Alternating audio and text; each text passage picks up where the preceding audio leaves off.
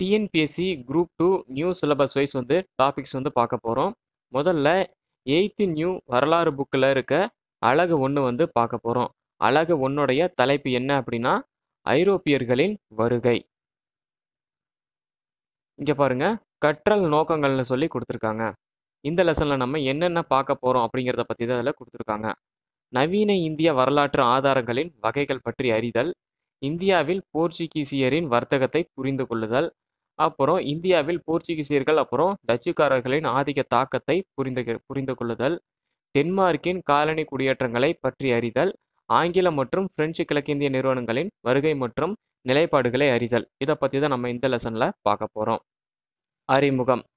பதினெட்டு அப்புறம் பத்தொன்பதாம் நூற்றாண்டில் இந்தியாவுக்கு வருகை புரிந்த பல வெளிநாட்டு பயணிகள் வர்த்தகர்கள் சமய பரப்பாளர்கள் அப்புறம் பொதுப்பணி ஊழியர்கள் இவங்கெல்லாம் நாட்டுடைய பல்வேறு பகுதியில் தங்கி அவங்க பெற்ற அனுபவங்களையும் உணர்வுகளையும் விட்டுட்டு போயிருக்காங்கன்னு சொல்லியிருக்காங்க. நவீன கால வரலாற்று நிகழ்வுகளை நம்ம தெரிஞ்சுக்க சர்வதேச தேசிய அப்புறம் வட்டார அளவில் நமக்கு ஏராளமான ஆதாரங்கள்லாம் கிடைச்சிருக்கு அப்படின்னு வந்து சொல்லியிருக்காங்க. இந்த மாதிரி ஆதாரங்களை பற்றி தான் நம்ம இதில் பார்க்க போகிறோம் முதல்ல நவீன இந்திய ஆதாரங்கள். நவீன இந்தியாவுடைய வரலாற்று ஆதாரங்கள்லாம் நாட்டுடைய அரசியல் சமூக பொருளாதார அப்புறம் கலாச்சார முன்னேற்றங்களை பற்றி நமக்கு தெரிஞ்சுக்க உதவுது அப்படின்னு சொல்கிறாங்க நவீன இந்தியாவுடைய வரலாற்று ஆதாரங்கள் நம்ம நாட்டுடைய அரசியல் ஆதாரங்கள்லாம் எதுக்கு இப்போ உதவுது அப்படின்னா நம்ம நாட்டுடைய அரசியல் சமூக பொருளாதார அப்புறம் கலாச்சார முன்னேற்றங்களை பற்றி நம்ம தெரிஞ்சுக்க வந்து உதவுது அப்படின்னு சொல்கிறாங்க தொடக்க காலத்திலிருந்தே போர்ச்சுகீசியர்கள் டச்சுக்காரர்கள் பிரெஞ்சுக்காரர்கள் டேனியர்கள் அப்புறம் ஆங்கிலேயர்கள் இவங்கெல்லாம் வந்து பார்த்தீங்கன்னா அவங்களுடைய அலுவலக செயல்பாடுகளை அவங்களுடைய அரசாங்க பதிவேடுகளில் பதிவு செஞ்சுருக்காங்கன்னு சொல்லுவாங்க. இப்போ ஏதாவது ஒரு ஆஃபீஸ் இருக்குது அப்படின்னா அதை வந்து ஏதாவது ஒரு நிகழ்வு வந்துச்சுன்னா அதை வந்து ரெக்கார்ட் பண்ணி வைப்பாங்க. அதை தான் இதில் வந்து சொல்லியிருக்காங்க. அவங்களுடைய அலுவலக செயல்பாடுகளை அவங்களுடைய அரசாங்க பதிவேடில் வந்து பதிவு செஞ்சுருக்காங்க அப்படின்னு சொல்லியிருக்காங்க. பராமரிக்கப்பட்ட அவங்களுடைய பதிவுகள் இந்தியாவில் அவங்களுடைய தொடர்பு பற்றிய தொடர்பு பற்றி நம்ம தெரிஞ்சுக்க உதவுற ஆதாரங்கள்லாம் இருக்குது அப்படின்னு சொல்கிறாங்க அவங்க ரெக்கார்ட் பண்ணி வச்சு அதில் இருந்து நம்ம தெரிஞ்சுக்க உதவுற ஆதாரங்கள்லாம் அதில் இருக்குது அப்படின்னு சொல்கிறாங்க லிஸ்பன் கோவா பாண்டிச்சேரி அப்புறம் சென்னை. இந்த மாதிரியான இடங்கள்ல இருக்க ஆவண காப்பகங்கள்லாம் வந்து பார்த்திங்கன்னா விலைமதிப்பற்ற வரலாற்று தகவல்களுடைய பெட்டகம் அப்படின்னு வந்து சொல்லியிருக்காங்க. இதை நோட் பண்ணிக்கோங்க. வரலாற்று தகவல்களின் பெட்டகம் அப்படின்னு எந்தெந்த இடங்களை வந்து சொல்கிறாங்கன்னா லிஸ்பன் கோவா பாண்டிச்சேரி அப்புறம் சென்னை. இந்த இடங்கள்லாம் இருக்க ஆவண காப்பகங்களை தான் வந்து வரலாற்று தகவல்களுடைய பெட்டகம் அப்படின்னு வந்து சொல்லியிருக்காங்க. அப்புறம் சான்றுகளுடைய வகைகள் வந்து கொடுத்துருக்காங்க. அதை பார்க்கலாம். முதல்ல எழுதப்பட்ட ஆதாரங்கள் வந்து கொடுத்துருக்காங்க. அச்சு இயந்திரம் கண்டுபிடிச்சதுக்கு அப்புறமா தான் வந்து பார்த்தீங்கன்னா மொழிகளில் எண்ணற்ற புத்தகங்கள் வந்து அச்சிடப்பட்டு வெளியாகின அப்படின்னு வந்து சொல்லியிருக்காங்க. இதன் விளைவா இதனால கலை இலக்கியம் வரலாறு அறிவியல் இந்த மாதிரியான துறைகளை பற்றி மக்கள் வந்து ரொம்பவும் எளிமையாக அறிஞ்சிக்க முடிஞ்சுது. ரொம்பவும் ஈஸியாக வந்து தெரிஞ்சுக்க முடிஞ்சுது அப்படின்னு சொல்லியிருக்காங்க. இந்தியாவில் வந்து பார்த்தீங்கன்னா ஏராளமான செல்வத்தை பற்றி மார்க்கோ போலோ அப்புறம் சில வெளிநாட்டு பயணிகள்லாம் வந்து பார்த்தீங்கன்னா குறிப்பு எழுதி வச்சுருந்தாங்க. இந்த குறிப்பை தான் ஐரோப்பியர்கள் வந்து பார்த்தாங்க. பார்த்துட்டு தான் வந்து ஐரோப்பியர்கள் இந்தியாவை நோக்கி வந்தாங்க அப்படின்னு வந்து சொல்லியிருக்காங்க.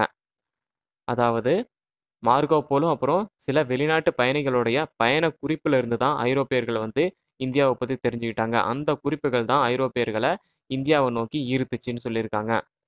தமிழ் வரலாற்று குறிப்பு ஆவணங்களில் முக்கியமாக இருக்க வேண்டிய ஒரு பெயர் என்ன அப்படின்னு சொல்கிறாங்கன்னா அனந்தரங்கம். நோட் பண்ணிக்கோங்க இதெல்லாம். தமிழ் வரலாற்று குறிப்பு ஆவணங்களில் முக்கியமாக இருக்க வேண்டிய ஒரு பெயர் என்ன அப்படின்னா அனந்தரங்கம். இவர் யார் அப்படின்னு சொல்கிறாங்க பாருங்க. இவர் வந்து பாண்டிச்சேரி பிரெஞ்சு வர்த்தகத்துடைய மொழிபெயர்ப்பாளராக டப்பேஷா வந்து இருந்திருக்காரு அப்படின்னு வந்து சொல்லியிருக்காங்க. மொழிபெயர்ப்பாளர் அப்படின்னா டப்பேஷ் அப்படின்னு சொல்லியிருக்காங்க. நோட் பண்ணிக்கோங்க. அனந்தரங்கம் யாருன்னா பாண்டிச்சேரி வர்த்தக வர்த்தகத்தில் மொழிபெயர்ப்பாளராக இருந்திருக்காருன்னு சொல்லியிருக்காங்க. ஆயிரத்தி எழுநூற்றி முப்பத்தி ஆறுலருந்து ஆயிரத்தி எழுநூற்றி அறுபது வரைக்கும் அனந்தரங்கம் எழுதின பிரெஞ்சு இந்திய உறவு முறை அப்படின்ற குறிப்பு வந்து பார்த்தீங்கன்னா அந்த காலத்தை பற்றி நம்ம தெரிஞ்சுக்க உதவுற ஒரே ஒரு எழுதப்பட்ட சமய சார்பற்ற மதிக்கு மிக்க பதிவாக நமக்கு கிடைச்சிருக்கு அப்படின்னு வந்து சொல்லியிருக்காங்க. நோட் பண்ணிக்கோங்க. அனந்தரங்கம் எழுதின ஆயிரத்தி எழுநூற்றி முப்பத்தி ஆறுலருந்து ஆயிரத்தி எழுநூற்றி அறுபது வரை அவர் எழுதின பிரெஞ்சு இந்திய உறவு முறை அப்படின்ற குறிப்பு வந்து பார்த்தீங்கன்னா அந்த காலத்தை பற்றி நம்ம தெரிஞ்சுக்கிற உதவிட ஒரே ஒரு எழுதப்பட்ட சமய சார்பற்ற மதிமிக்க மதிப்புமிக்க பதிவாக நமக்கு கிடைச்சிருக்குன்னு சொல்லியிருக்காங்க. அவருடைய குறிப்புகள் வந்து பார்த்தீங்கன்னா அரசியல் தீர்வுகளை வெளிப்படையாக விளக்குற ஒரு வரலாற்று தரமாக வந்து நம்ம இருக்குது அப்படின்னு வந்து சொல்லியிருக்காங்க. எழுதப்பட்ட ஆவணம் அப்படின்னா எவை அப்படின்னு சொல்லி கொடுத்துருக்காங்க பாருங்க.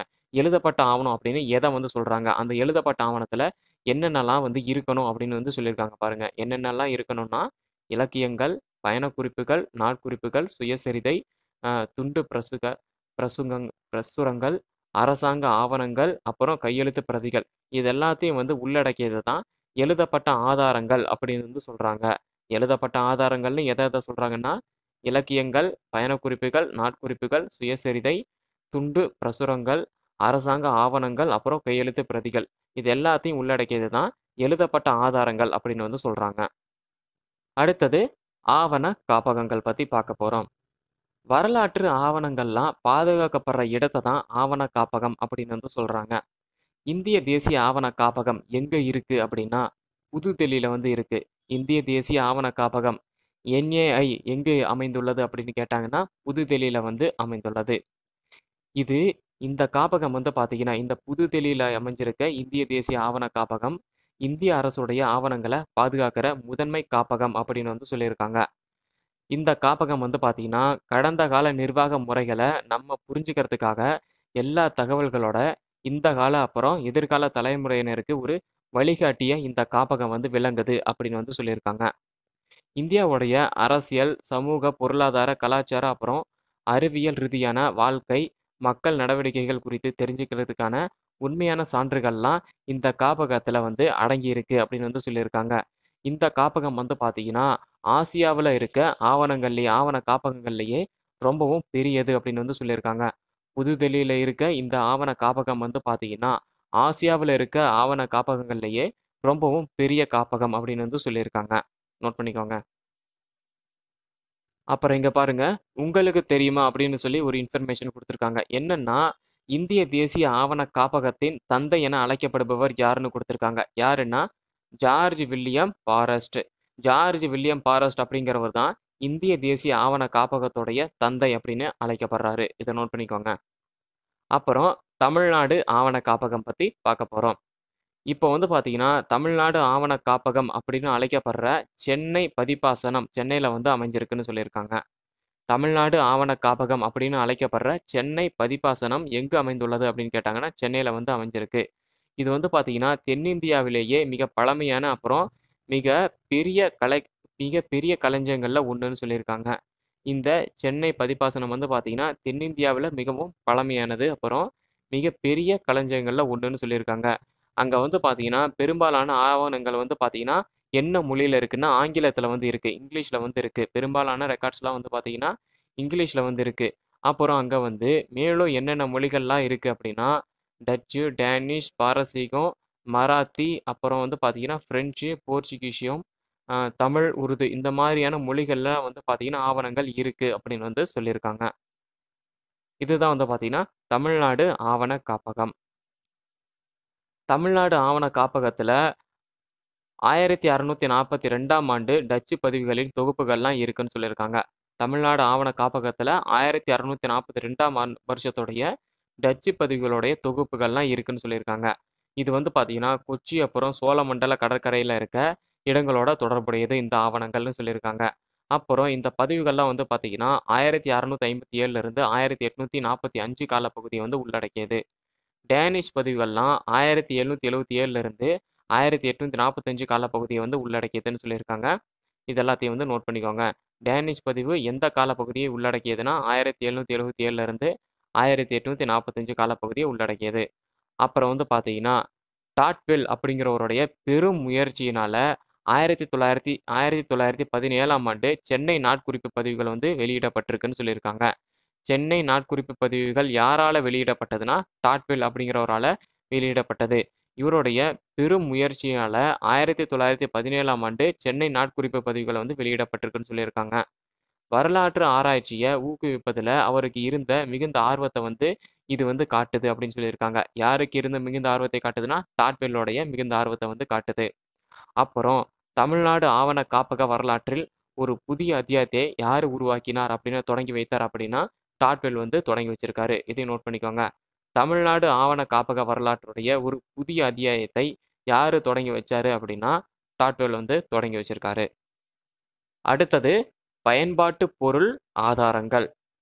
பல ஓவியங்கள் மற்றும் சிலைகள் நவீன இந்திய வரலாற்றின் முதன்மை ஆதாரங்களாக உள்ளனன்னு சொல்லியிருக்காங்க. நவீன இந்திய வரலாற்றின் முதன்மை ஆதாரங்களாக எவை எவை உள்ளன அப்படின்னா ஓவியங்கள் அப்புறம் சிலைகள். நோட் பண்ணிக்கோங்க.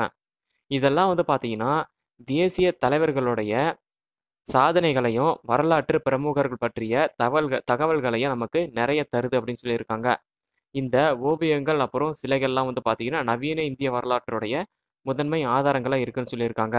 இதெல்லாம் வந்து பார்த்தீங்கன்னா தேசிய தலைவர்களுடைய சாதனைகளையும் வரலாற்று பிரமுகர்கள் பற்றின தகவல்களையும் நமக்கு நிறைய தருது அப்படின்னு வந்து சொல்லியிருக்காங்க.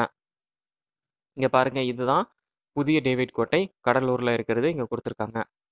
இங்கே வந்து பார்த்தீங்கன்னா இந்திய கட்டடக்கலையின் கலை அம்சங்கள் அப்புறம் தொழில்நுட்பத்தின் சான்றாக என்னென்ன விளங்குது அப்படின்னு சொல்லி வந்து இங்கே கொடுத்துருக்காங்க. பார்க்கலாம்.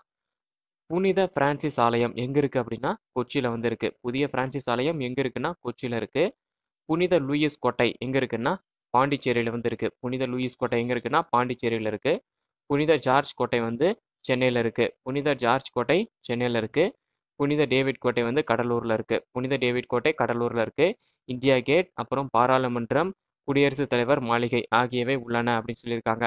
இது எதுக்கு சொல்லியிருக்காங்கன்னா இந்திய கட்டடக்கலையின் கலை அம்சங்கள் அப்புறம் தொழில்நுட்பத்தின் சான்றாக இதெல்லாம் வந்து விளங்குது அப்படின்னு வந்து சொல்லியிருக்காங்க. இதை நோட் பண்ணிக்கோங்க. அப்புறம் சமய கரலா கலாச்சார வரலாற்று மதிப்புமிக்க மற்ற பொருட்கள்லாம் வந்து பார்த்தீங்கன்னா சேகரிக்கப்பட்டு அதெல்லாம் அருங்காட்சியகத்தில் வந்து பாதுகாக்கப்படுதுன்னு சொல்லியிருக்காங்க. சமய கலாச்சார வரலாற்று மதிப்புமிக்க மற்ற பொருட்களுடைய மூலங்கள்லாம் சேகரிக்கப்பட்டு அதெல்லாம் அருங்காட்சியகத்தில் வந்து பாதுகாக்கப்படுதுன்னு சொல்லியிருக்காங்க. இந்த அருங்காட்சியகங்கள்லாம் வந்து பார்த்தீங்கன்னா நம்மளுடைய கலாச்சாரத்தை பாதுகாத்து மேம்படுத்த உதவுது அப்படின்னு சொல்லியிருக்காங்க. நம்மளுடைய கலாச்சார பாதுகா பல நம்மளுடைய கலாச்சாரத்தை பாதுகாத்து மேம்படுத்த உதவுவது எது அப்படின்னா அருங்காட்சியகங்கள். அப்புறம் டெல்லியில் இருக்க மிகப்பெரிய அருங்காட்சியகம் வந்து பார்த்தீங்கன்னா இந்தியாவுடைய மிக பெரும் தேசிய அருங்காட்சியகம் சொல்லியிருக்காங்க. இந்தியாவுடைய மிக பெரும் தேசிய அருங்காட்சியகம் எங்கே இருக்குது அப்படின்னா டெல்லியில் வந்து இருக்குது இது வந்து பார்த்தீங்கன்னா ஆயிரத்தி தொள்ளாயிரத்தி நாற்பத்தி ஒன்பதாம் ஆண்டு வந்து நிறுவப்பட்டிருக்குன்னு சொல்லியிருக்காங்க. இந்த டெல்லியில் இருக்க இந்த மிகப்பெரு பெரும் தேசிய அருங்காட்சியகம் எப்பொழுது நிறுவப்பட்டிருக்குன்னு சொல்லியிருக்காங்கன்னா ஆயிரத்தி தொள்ளாயிரத்தி நாற்பத்தி ஒன்பதாம் ஆண்டு நிறுவப்பட்டிருக்குன்னு சொல்லியிருக்காங்க. இந் நிர்வாக வரலாற்றை அறிய ஒரு சிறந்த ஆதாரமாக நாணயங்கள்லாம் வந்து திகழுதுன்னு சொல்லியிருக்காங்க. இந்திய வரலாற்றை அறிய ஒரு சிறந்த ஆதாரமாக எது திகழுது அப்படின்னா நாணயங்கள்லாம் வந்து திகழுது. நோட் பண்ணிக்கோங்க. நவீன இந்தியாவுடைய முதல் நாணயம் எப்பொழுது வந்து வெளியிடப்பட்டது அப்படின்னா கிபி ஆயிரத்தி எட்நூத்தி அறுபத்தி ரெண்டாம் ஆண்டு வந்து வெளியிடப்பட்டிருக்கு. எப்போன்னா ஆங்கிலேயர் ஆட்சி காலத்தில் வந்து வெளியிடப்பட்டிருக்கு. வருஷத்தை நோட் பண்ணிக்கோங்க. நவீன இந்தியாவுடைய முதல் நாணயம் எப்பொழுது வெளியிடப்பட்டது அப்படின்னா கிபி ஆயிரத்தி எட்நூத்தி அறுபத்தி ரெண்டுல வந்து வெளியிட்டிருக்காங்க. எப்போன்னா ஆங்கிலேய ஆட்சி காலத்தில் வந்து வெளியிட்டிருக்காங்க. அப்புறம் ராணி விக்டோரியாவுக்கு அப்புறம் அரியணை ஏறிய மன்னர் ஏழாம் எட்வர்ட் அவருடைய உருவம் தாங்கிய நாணயத்தை வந்து வெளியிட்டிருக்காரு அப்படின்னு வந்து சொல்லியிருக்காங்க.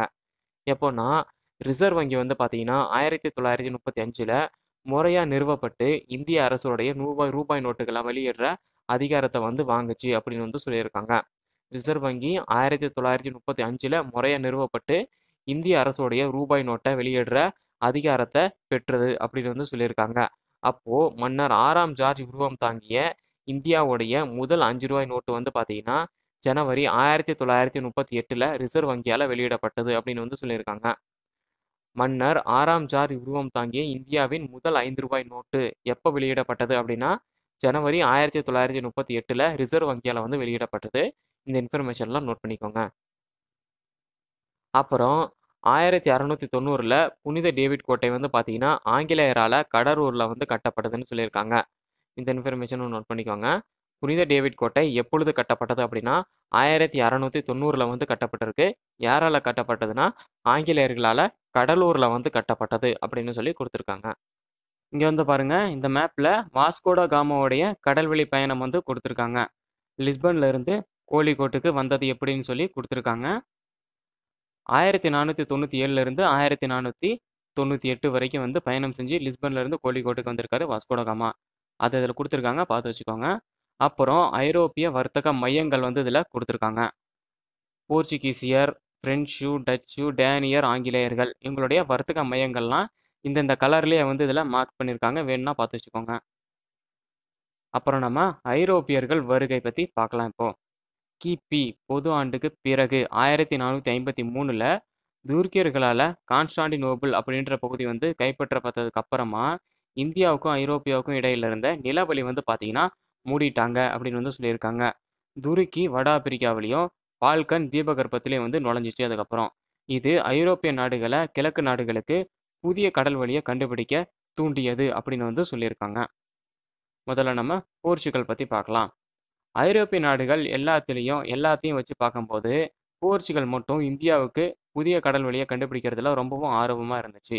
ஐரோப்பிய நாடுகள் எல்லாத்த காட்டிலையும் போர்ச்சுகல் வந்து பார்த்தீங்கன்னா இந்தியாவுக்கு புதிய கடல் வழியை கண்டுபிடிக்கிறதுல ரொம்பவும் ஆர்வமாக இருந்துச்சு அப்படின்னு சொல்கிறாங்க போர்ச்சுகீசிய இளவரசர் ஹென்றி வந்து பார்த்தீங்கன்னா பொதுவாக இவர் வந்து மாலுமி ஹென்றி அப்படின்னு சொல்லி கொடுப்போம் கூப்பிடுவாங்க. இவர் வந்து உலகத்துடைய அறியப்படாத பகுதிகளை ஆராயவும் சாகச வாழ்க்கையை மேற்கொள்ளவும் அவருடைய நாட்டு மக்களை வந்து ஊக்குவிச்சாரு. யாருன்னா மாலுமி ஹென்றி. இளவரசர் ஹென்றி பொதுவாக மாலுமி ஹென்றி அப்படின்னு அறியப்படுகிறார் அப்படின்னு வந்து சொல்றாங்க.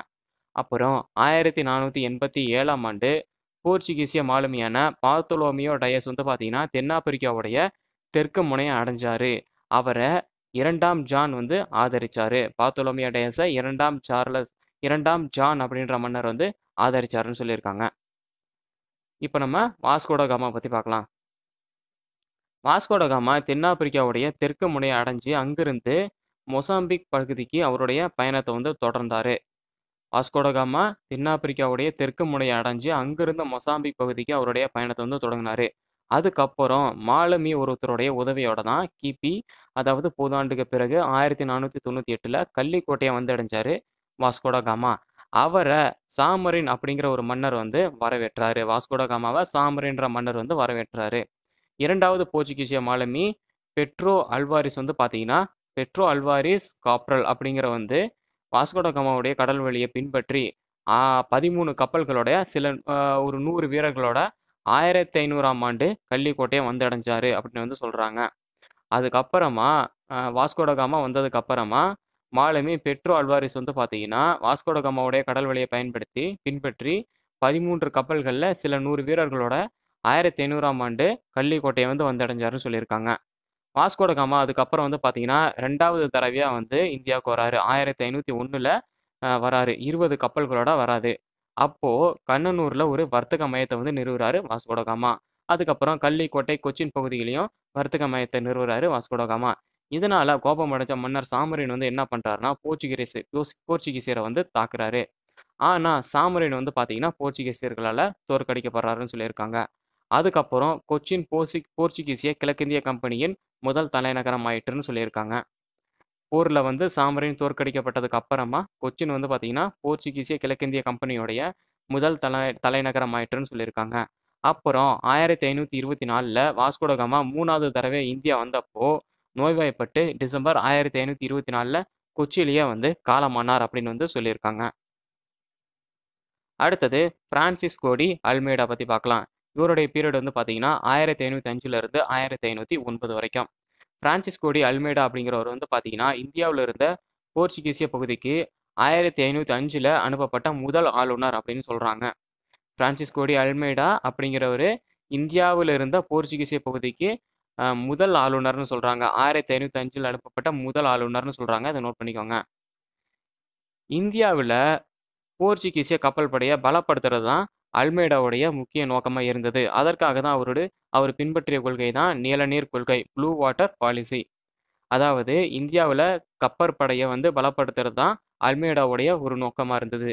அதுக்கு அல்மேடா பின்பற்றின ஒரு கொள்கை தான் நீலநீர் கொள்கை ப்ளூ வாட்டர் பாலிசி அப்படின்னு வந்து சொல்கிறாங்க இந்திய பெருங்கடலில் அரேபியர்களுடைய வர்த்தகத்தை போர்ச்சுகீசியர்கள் வந்து பார்த்தீங்கன்னா தார்க்க முயன்றாங்க அப்போது அது துருக்கி அப்புறம் எகிப்தை வந்து பாதிச்சிச்சு அப்படின்னு சொல்கிறாங்க அதுக்கப்புறம் வந்து பார்த்தீங்கன்னா பீஜப்பூர் அப்புறம் குஜராத் சுல்தான்கள்லாம் போர்ச்சுகீசியருக்கு எதிராக எகிப்து அப்புறம் துருக்கி சுல்தான்களுக்கு வந்து பார்த்தீங்கன்னா ஆதரவளித்தாங்க இதனால துறைமுகங்களுடைய கட்டுப்பாட்டை விரிவுபடுத்துறதை பற்றி போர்ச்சுகீசியர்கள் வந்து பார்த்தீங்கன்னா கவலைப்பட்டாங்கன்னு சொல்கிறாங்க இந்த நிலையில் சாவலுக்கு பக்கத்தில் நடைபெற்ற கடற்படை போரில் முஸ்லீம் கூட்டுப்படைகள்லாம் வந்து பார்த்தீங்கன்னா போர்ச்சுகீசியர்களை வந்து தோற்கடிச்சாங்க அந்த போரில் வந்து பார்த்தீங்கன்னா அல்மேடாவுடைய மகன் வந்து கொல்லப்பட்டாரு அப்படின்னு சொல்லியிருக்காங்க அதுக்கப்புறம் டையுவில் நடந்த கடற்போரில் அல்மேடா முஸ்லீம் கூட்டுப்படைகளை வந்து தோற்கடிச்சாரு அதுக்கப்புறம் கிபி ஆயிரத்தி ஐநூற்றி ஒன்பதில் போர்ச்சுகீசியர் ஆசியாவின் கடற்படை மேலாண்மையை வந்து கேட்டாங்கன்னு சொல்கிறாங்க அதாவது அல்மேடா முஸ்லீம் கூட்டுப்படையை வந்து தோற்கடிச்சாரு. அதுக்கப்புறம் ஆயிரத்தி ஐநூற்றி ஒன்பதில் போர்ச்சுகீசியர்களை வந்து பார்த்தீங்கன்னா, ஆசியாவுடைய கடற்படை மேலாண்மையை வந்து கேட்டாங்க.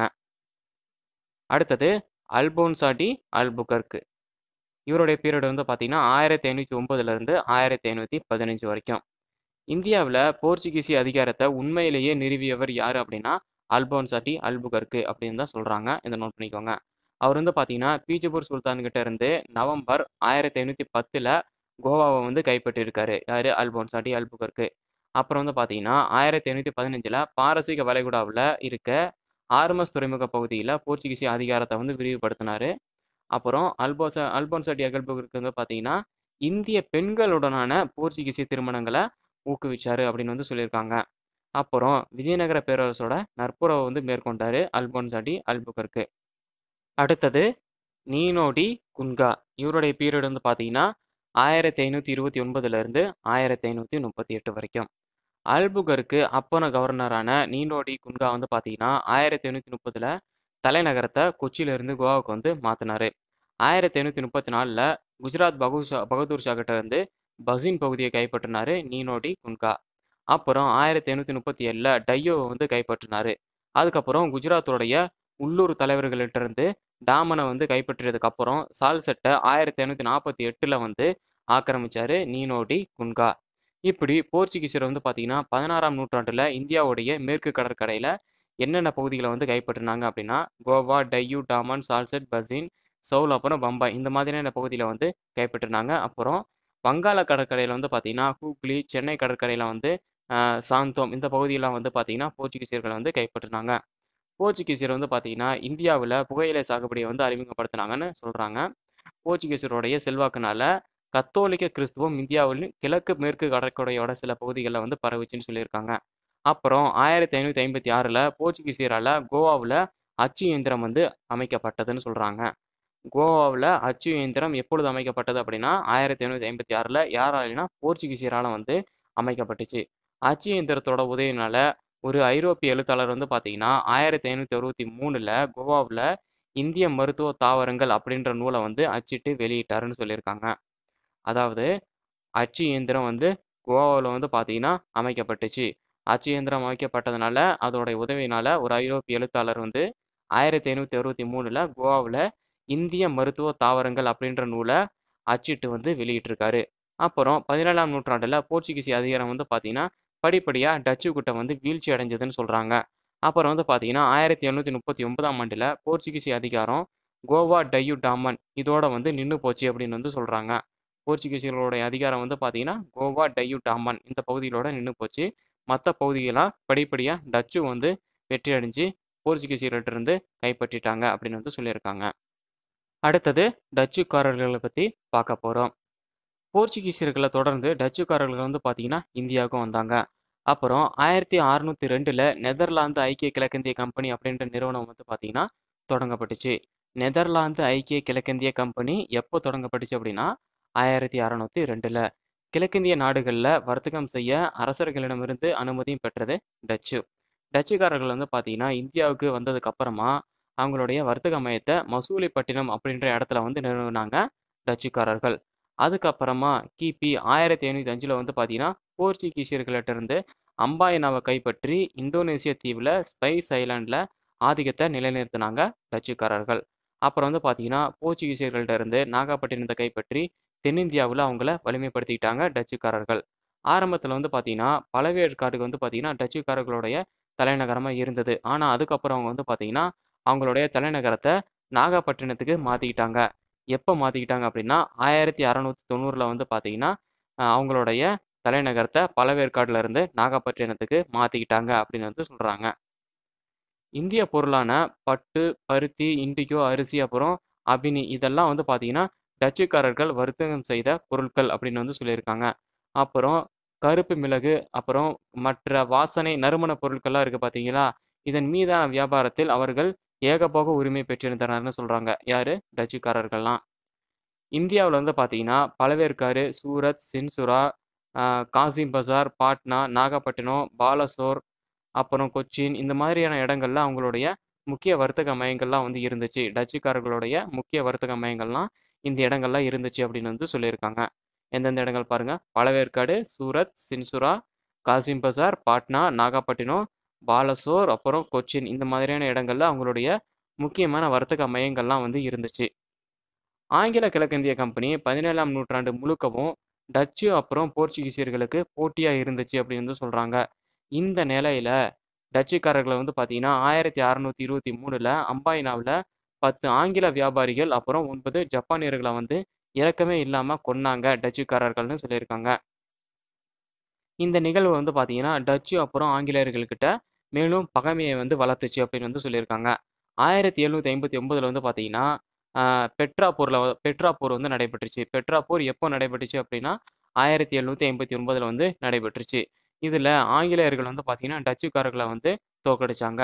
அதுக்கப்புறம் வந்து பார்த்தீங்கன்னா டச்சு இறுதி வீழ்ச்சியை வந்து எட்டியது அப்படின்னு வந்து சொல்கிறாங்க ஒன்றொன்னா வந்து டச்சுக்காரர்கள் அவங்களுடைய குடியேற்றங்களை ஆங்கிலேயர்கிட்ட வந்து இழந்தாங்க.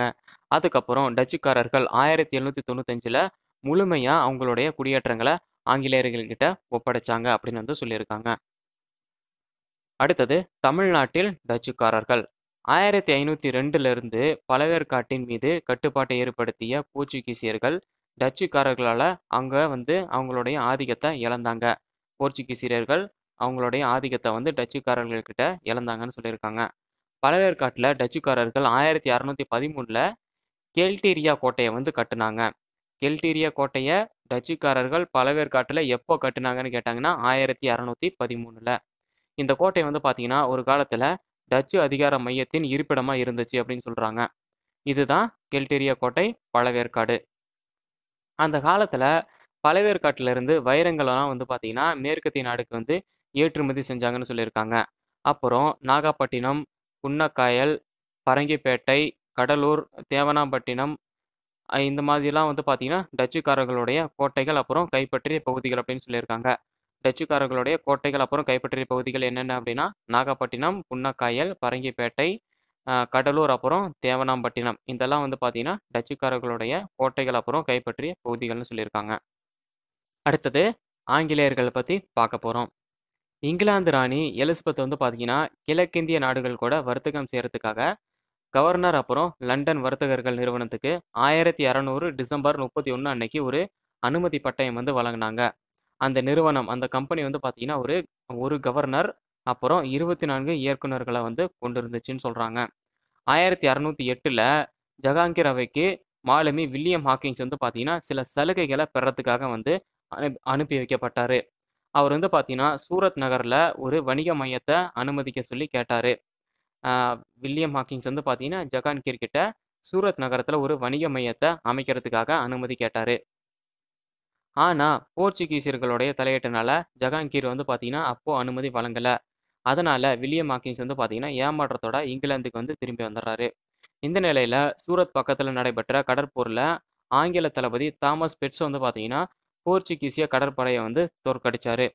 இதனால் மகிழ்ச்சி அடைந்த பேரரசர் ஜஹான்கீர் வந்து பார்த்தீங்கன்னா ஆயிரத்தி அறநூற்றி பதிமூணில் சூரத்தில் ஆங்கில வர்த்தக மையத்தை வந்து அனுமதிக்க அமைக்க வந்து அனுமதி அளித்தார். ஆயிரத்தி அறநூத்தி பதிமூணுல சூரத்தில் ஆங்கில வர்த்தக மையத்தை ஜஹாங்கீர் வந்து பார்த்தீங்கன்னா அமைக்க அனுமதிக்க அனுமதித்தாரு. இது வந்து பார்த்தீங்கன்னா ஆரம்பத்தில் ஆங்கிலேயர்களுடைய தலைமையகமாக இருந்துச்சு. இந்த நிலையில ஆயிரத்தி அறநூத்தி பதினாலில் கேப்டன் நிக்கோலஸ் டவுன்டன் வந்து பார்த்தீங்கன்னா போர்ச்சுகீஸை வந்து வென்றாரு. இந்த சம்பவம் வந்து பார்த்தீங்கன்னா முகலாயர் அவையில் ஆங்கிலேயருடைய கௌரவத்தை வந்து அதிகரிச்சது அப்படின்னு வந்து சொல்றாங்க. அப்புறம் ஆயிரத்தி அறநூத்தி பதினஞ்சுல ஜஹாங்கீர் அவைக்கு இங்கிலாந்து மன்னர் ஜேம்ஸ் அவர்களால் சர் தாமஸ் ரோ வந்து அனுப்பி வைக்கப்பட்டார் அவர் வந்து பார்த்தீங்கன்னா ஆக்ராவில் மூன்றாண்டு வந்து தங்கியிருந்தார். மூன்றாவது மூன்றாம் ஆண்டு இறுதியில் பேரரசர் ஜஹாங்கீர் கிட்ட இருந்து ஜஹாங்கீர் கிட்ட இந்தியாவில் வணிகம் செய்கிற உரிமையை வந்து பெற்றார். யாருன்னா சர் தாமஸ் ரோ வந்து பெற்றார். ஜஹாங்கீர் அவைக்கு ஆயிரத்தி ஐநூத்தி பதி ஆயிரத்தி அறநூற்றி பதினஞ்சுல மன்னர் ஜேம்ஸ் அவர்களால் சர் தாமஸ் ரோ வந்து அனுப்பி வைக்கப்பட்டாரு. அவர் வந்து பார்த்தீங்கன்னா ஆக்ராவில் மூன்று ஆண்டுகள் வந்து தங்கியிருந்தார். மூன்று ஆண்டுகள் தங்கி மூன்றாம் ஆண்டு இறுதியில் பேரரசர் ஜஹாங்கீர் கிட்ட இருந்து இந்தியாவில் வணிகம் செய்கிற உரிமையை வந்து பெற்றாரு அப்படின்னு வந்து சொல்லியிருக்காங்க. உரிமையை பெற்ற சர் தாமஸ் ரோ வந்து புறப்படுறதுக்கு முன்னாடி ஆக்ரா அகமதாபாத் அப்புறம் புரோச் இந்த மாதிரியான இடங்கள்ல வணிக மையத்தை வந்து நிறுவினார் அப்படின்னு சொல்றாங்க. யாரு? Sir Thomas Roe. ஆங்கிலேயர்கள் வந்து பார்த்தீங்கன்னா அவங்களுடைய முதல் வணிக மையத்தை வங்காள விரிகுடா கடற்கரையில் உள்ள மசூலிப்பட்டினத்தில் ஆயிரத்தி அறநூற்றி பதினொன்றில் வந்து நிறுவனாங்க. ஆங்கிலேயர்கள் வந்து பார்த்தீங்கன்னா அவங்களுடைய முதல் வணிக மையத்தை வங்காள விரிகுடா கடற்கரையில் இருக்க மசூலிப்பட்டினத்தில் ஆயிரத்தி அறநூற்றி பதினொன்றில் வந்து நிறுவனாங்க. இது கோல்கொண்டா அரசுடைய ஒரு முக்கியமான துறைமுகம்னு சொல்லியிருக்காங்க.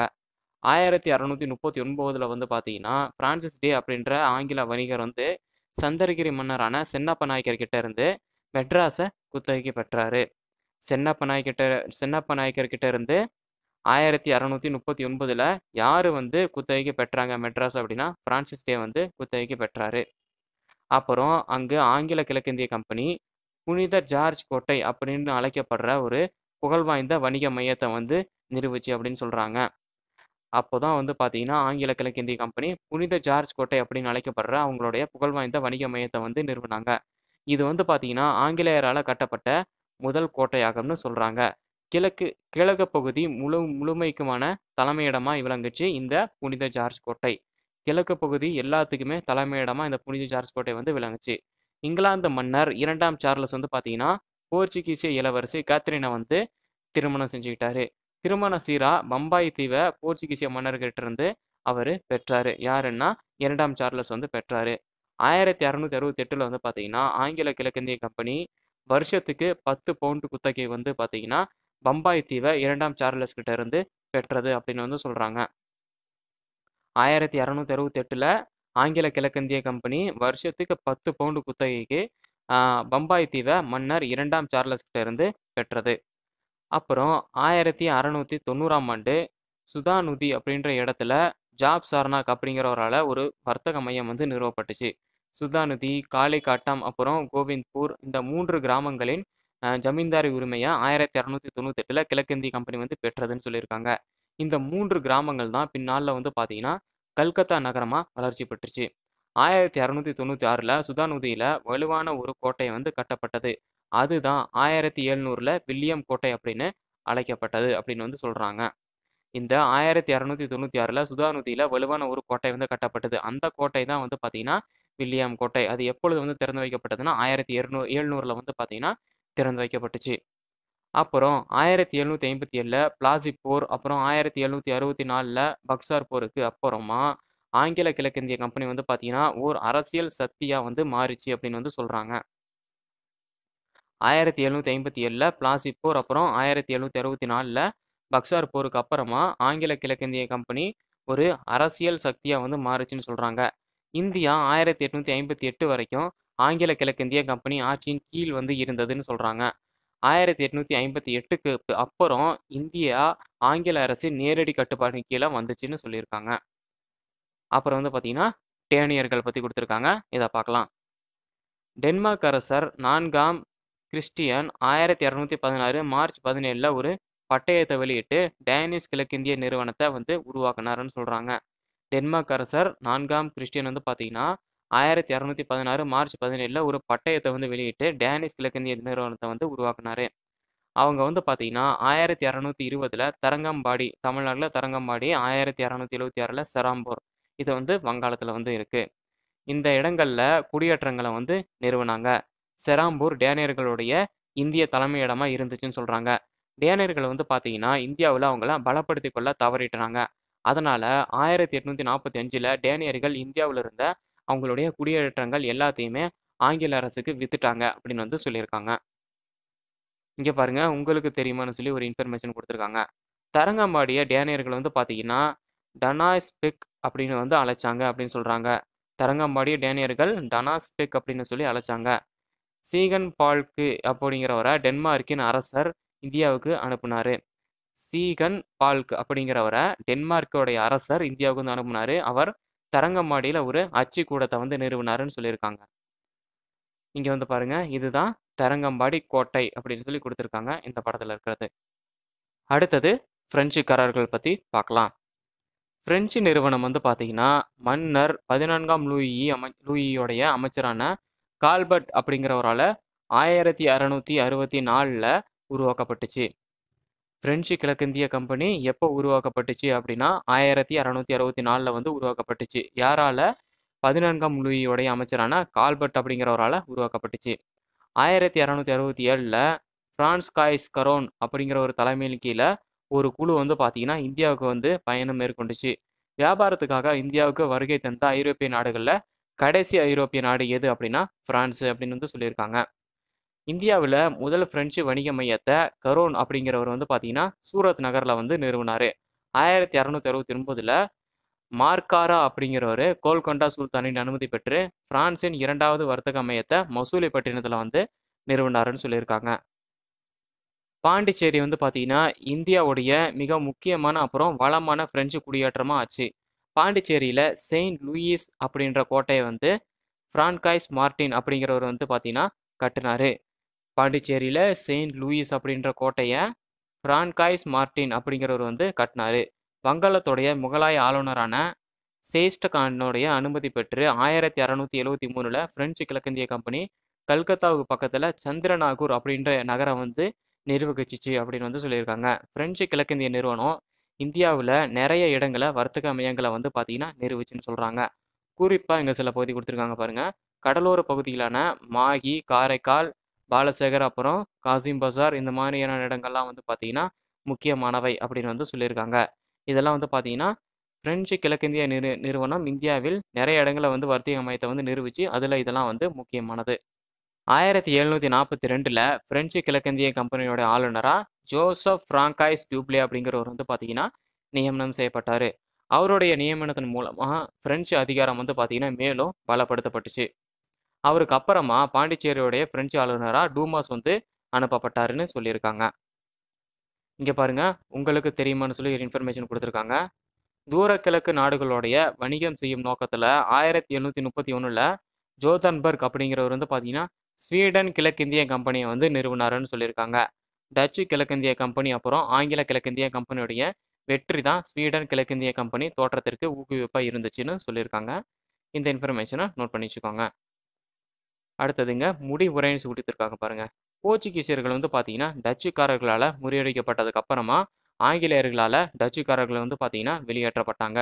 அதுக்கப்புறமா இந்தியாவில் பிரெஞ்சுக்காரர்கள் வர்த்தகம் மற்றும் அரசியல் ஆதிக்க போட்டியில் ஆங்கிலேயரை எதிர்கொள்ள வேண்டியதாக இருந்துச்சு. பிரெஞ்சுக்காரர்கள் வர்த்தகத்தை புறக்கணித்து இந்தியா அப்புறம் மற்ற ஐரோப்பிய நாடுகள் கூட வந்து போரில் ஈடுபட்டாங்க. அதன் விளைவாக ஆங்கிலேயர் கூட ஆங்கிலேயர்கள் கூட நடைபெற்ற மூன்று கர்நாடக போர்களும் பிரான்ஸை வந்து நலிவடைய செய்தன அப்படின்னு வந்து சொல்லியிருக்காங்க.